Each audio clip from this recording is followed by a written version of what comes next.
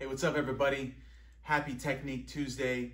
As you can see, I'm here at the Fanatics headquarters um, here in Boston.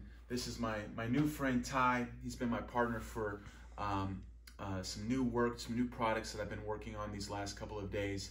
I'm really excited to share and get these out with you guys. Um, and but it is Technique Tuesday, so um, as usual, I'm to be here uh, providing you, or I am here providing you with some some tech, technical knowledge to help you out with your game um, and get you through another week until the next Technique Tuesday.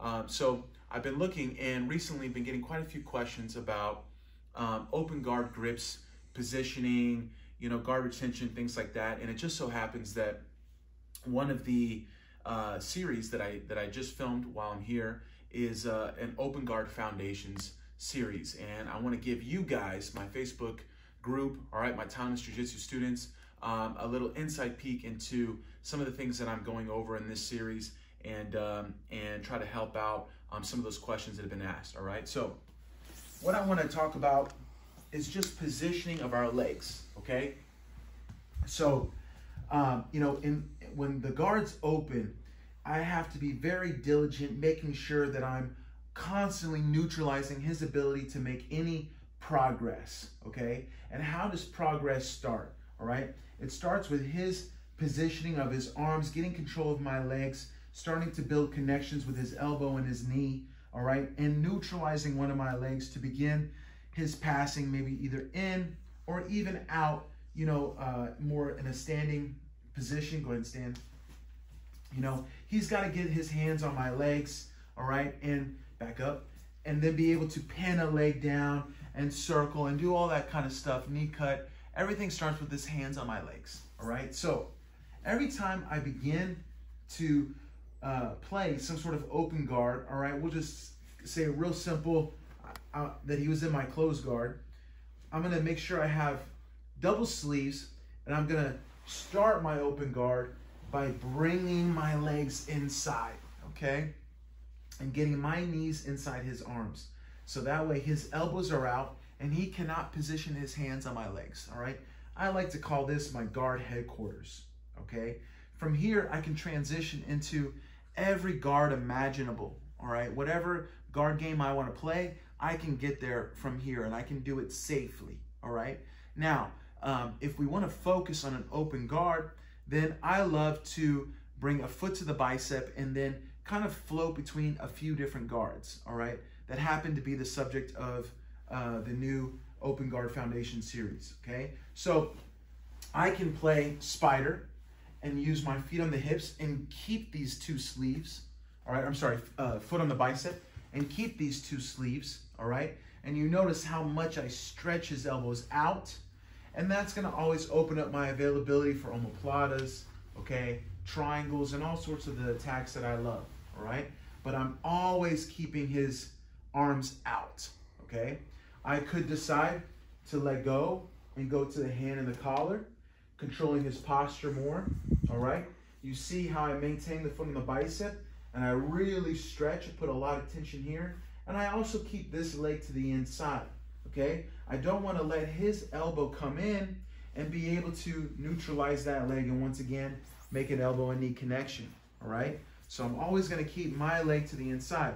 I don't want to play hand the collar like this because it's unrealistic that I'm going to be able to keep that foot on his hip for very long, okay? But if I don't let his hand make a grip and I keep it around the outside of my leg, now uh, try to bring this arm in, it's very difficult. And look, the way he wants to go is over my knee. As he goes over my knee, he gives me the omoplata, right?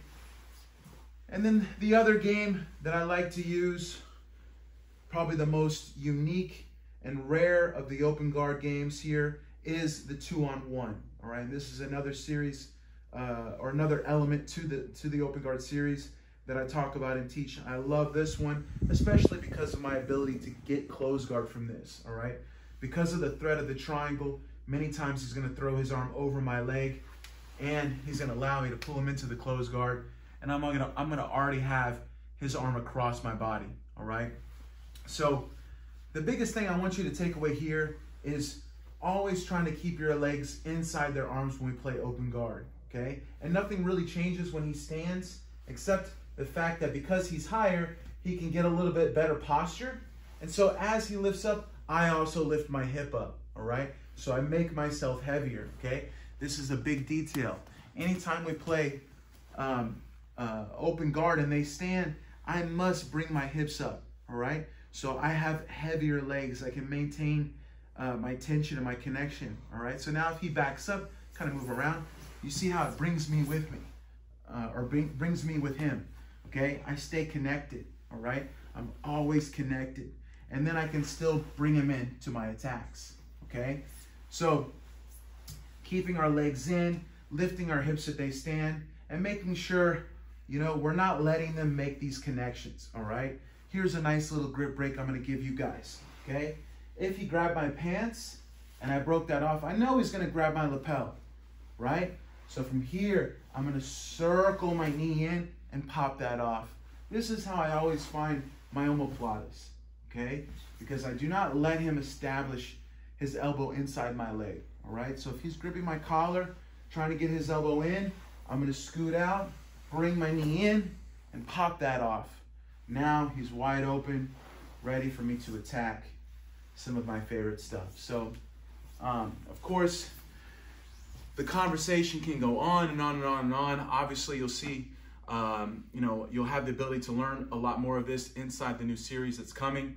I filmed a couple other uh, products I'm really excited about as well. Kimura, half guard passing, some of my strongest and best stuff that I know you're gonna love. And uh, you'll be seeing going into the Timeless Jiu-Jitsu platform as well.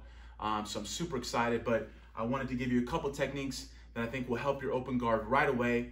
And beyond the techniques is really just the, the, the mindset and the vision of how you play your open guard, okay? Don't let them progress and make all these grips on you and then you're you're getting further, further, further in out of position, okay?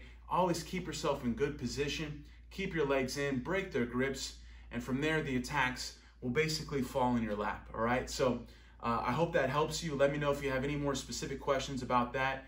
Um, keep your eyes out on uh, the, the great stuff coming your way and, uh, and keep following the Timeless Jiu-Jitsu uh, group, uh, the blog, all the good stuff that I'm putting out there. I hope it's helping you. Thank you all for the great energy, all right? Happy Technique Tuesday.